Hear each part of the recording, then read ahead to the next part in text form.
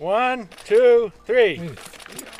The Mount Van Hoevenberg East Trail is officially open to the public. It's a sustainably built trail, an enjoyable trail. The views are extraordinary. Bob Stegemann of the Department of Environmental Conservation teaming up with the Olympic Regional Development Authority to create this man-made trail. It can take a lot of traffic.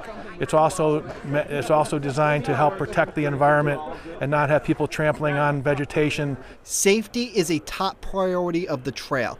With the Cascade Mountain nearby, hikers parking on the side of the road has been an issue over the years. The roads are, are really cluttered and it's becoming a safety issue on the road on a busy weekend. People trying to walk in the lane as cars because cars are parked on the shoulders. The Mount Van Hoevenberg Trail has a parking lot about a quarter a mile away to cut down on the foot traffic along the highway.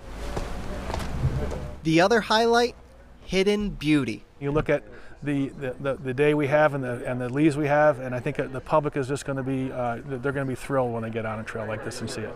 I think it's going to open up the doors for what the, the beauty of the Adirondacks in total. There's so many offerings in the Adirondacks.